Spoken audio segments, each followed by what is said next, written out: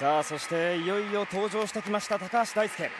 ライバル織田信成に続く日本勢2週連続優勝へ。そして成長した自分を世界に示すための準備は整いました。自分との戦いがいよいよ幕を開けます。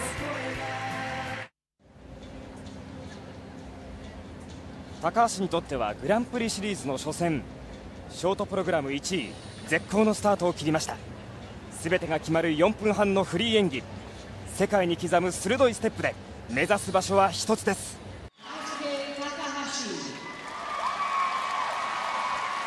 ショートプログラムを終えてトップ。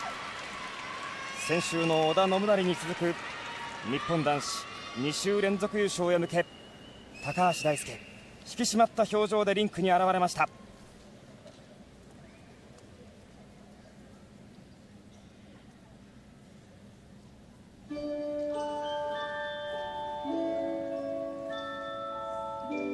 フリーではオペラ座の怪人を演じます。日本高橋大輔優勝へ向けてのフリーの演技が始まりました。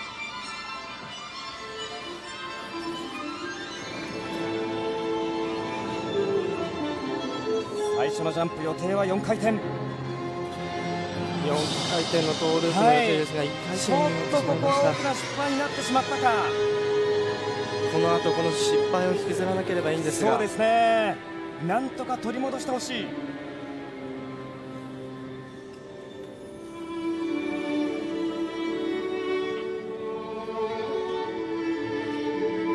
トリプルアクセル。うんここもちょっと着用が乱れた。こ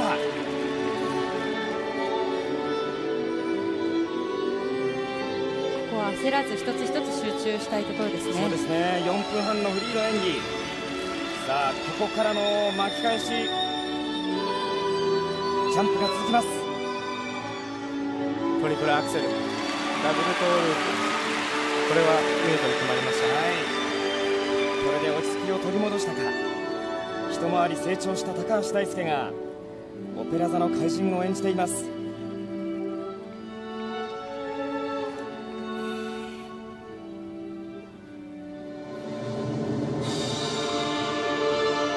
橋の持ち味の大きな武器ステップに入りました。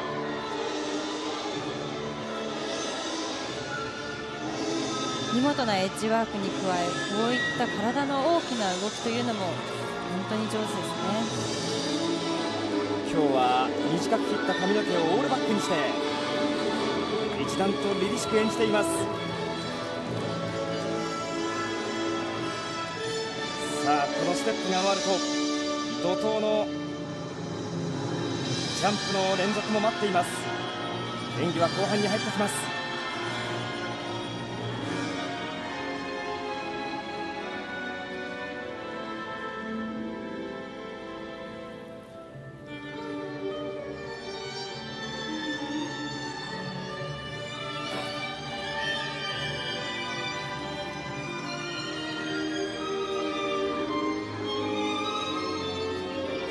トリプルフリップ。決まったトリプルトーループのコンビネーション。少し着氷が乱れたんですがはい。その後4つジャンプ続くので。そうですね。ややこのフリーはジャンプに失敗が少し目立つような感じにはなっています。トリプルルッツダブルトーループダブルループのコンビネーシこの3連続ジャンプは決めてきたあーっと転ョント倒リプルループ。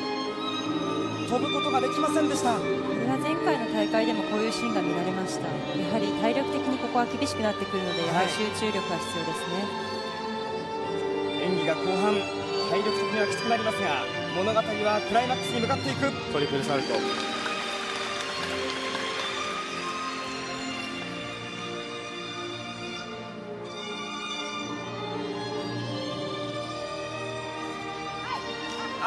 も転ダ倒ブルフリップで転倒してしまいました。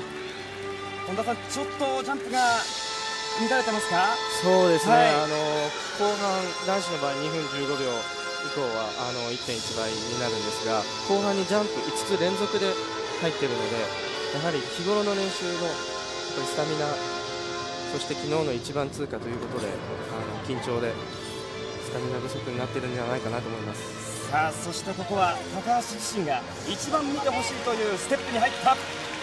場内は早くも沸いています。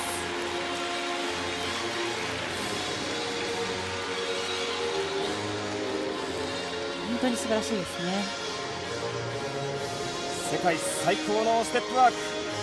高橋大輔がカナダの観客を魅了しています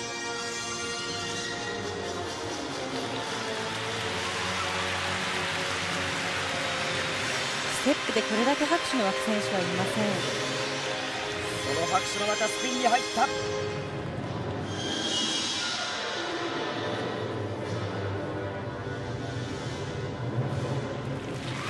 橋大輔ショートプログラム1位からプレッシャーの中フリーの演技を終えました。これは悔しい表情ですかはい。ね、最初の4回転ジャンプがシングルになりそこからジャンプのミスというのが目立ちました。ステップでは魅了したこの高橋ですがやはり本田さん、かなり本人も悔しそうな表情ですね。そうですね、はい。やはり2試合連続であのトリプルループジャンプを飛ぶ前に転倒してしまっている。はい。そこからややはりトリプルフリップが転倒してしまったりとかそういうのがあるので、まあ、これからシーズン後半に向けてはい。いろいろ学ぶことがあるので、本田さんは普段もこう高橋選手の練習見ていらっしゃいますが、はい。まあショートを見る限りは絶好調かなそんな感じもしたんですがやはりそのプレッシャーとかいろんな面があったんでしょうかね。そうですね、はい。やはりショートプログラムはすごい自信を持っていつも余裕を持って滑っているんですが、はい。フリーはどどこか緊張している、えー滑りにくそうに滑っている場面が何度かあるのではい。まあ、これは本当に練習でよくなよくしていく部分だと思います。やはりそれだけ難しいことをこなしながらステップにしてもスピンにしても難しいことレベルの高いことをこなしながらこれだけのジャンプを飛ぶというのはすごく負担にもなりますしやはり4回転をやるという挑戦するという意味で言えば、そこの辺りでは少し心境的には不安になっていたのかもしれませんね。今ご覧いただいたのが最初の4回転の予定が1回転になってしまったこのトリプルアクセルは回りすぎてしまいましたね。回りすぎている、はいこのトリプルフリップの予定でしたが、もうジャンプを飛ぶ前に回転が始まってしまい、少しと突き損ねてしまいましたかね。しかしこのステップは素晴らしかったです。えーそうですねやはり世界最高レベル世界一とも言われるこのステップでは観客を大いに沸かせた高橋大輔、やはり彼にとってグランプリ初戦ですから、ここで勢いをつけたかったですね。そうですよね、やはりこの初戦というのはとても大事で次の試合に向けてすごくモチベーションを作っていく上では大事なフリーでしたね。さあ日本高橋大輔の得点が出ます。まずは技術点。技術点は59.91そして5項目の演技構成点71.50転倒もありました。減点は2トータルショートプログラムと合計208.21は現在2位。ランビエールに続いて高橋大輔は2位という順位につけました。ショートプログラムからは残念ながら1つ順位を落とした形。この後表彰台の行方どうなるのか。後続のジョニー・ウェアにその演技は順位はかかってくることになりました。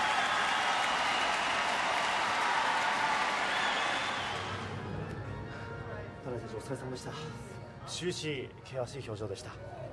そうですね、もう全然、またループで飛ぶ前にキャンベルと同じことで失敗したし、フィリップも全然体力的には全然疲れてなかったんですけど、なんか、パンクとかしちゃって、ちょっと滑り自体はそんなに悪くなかったと思うんですけど、ジャンプがのミスが目立ったので、それがすごい悔しいです。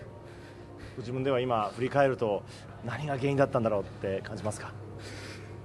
なんですかね、練習では結構できてたんで、後半とかほとんど失敗することはなかったんですけど、まあやっぱり4回転を入れての練習が不足してたかなっていうのはありますね。4回転の飛ぶ瞬間、まあ、最初のジャンプ大事なジャンプですがどんな思いがあったんでしょう？うーんそうですね。やっぱりやっぱり降りたい気持ちが強すぎてちょっと力んじゃってタイミングが速くなっちゃったりしたんですけど